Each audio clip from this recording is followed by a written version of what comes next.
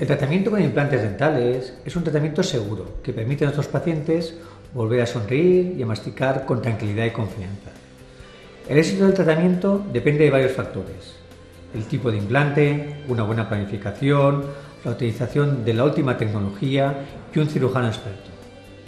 En el Instituto de Odontología Mediterránea contamos con todo ello. Confía en manos expertas, confía en nosotros.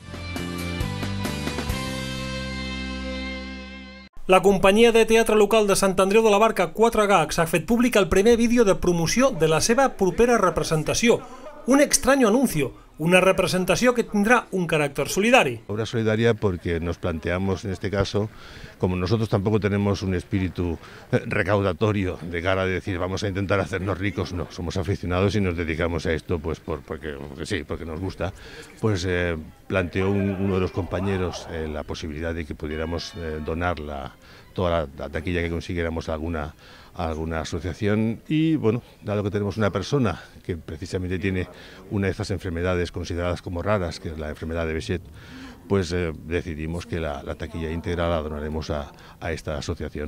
El proper dia 21 de maig al Teatre Núria Espert es podrà tornar a veure en escena els actors de la companyia local Quatre Gags, representant la seva primera obra de teatre, que no serà una comèdia al 100%. Presentamos eh, una comedia, por decirlo así, de Adolfo Marsillac, titulada Extraño Anuncio.